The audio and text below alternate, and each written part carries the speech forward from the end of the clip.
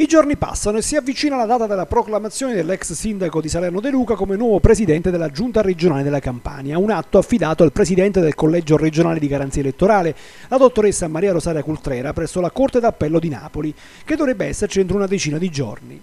Soltanto dopo dovrebbe scattare la segnalazione alla Prefettura di Napoli della condanna di primo grado da parte del Presidente del Tribunale di Salerno De Filippis, a seguire la trasmissione della condanna al Ministro degli Affari Regionali e a quello dell'Interno da parte del Prefetto di Napoli, Gerarda Maria Pantalone.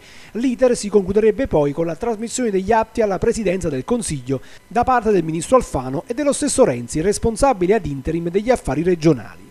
Al Premier invece toccherà il decreto di sospensione.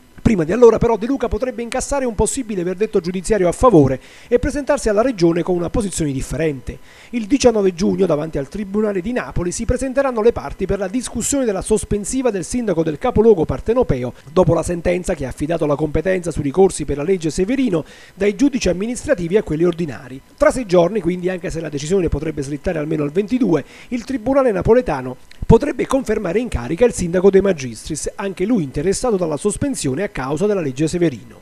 Se così fosse, De Luca potrebbe fare affidamento su un pronunciamento favorevole, da indicare come precedente importante per riuscire a restare in sella all'amministrazione regionale campana.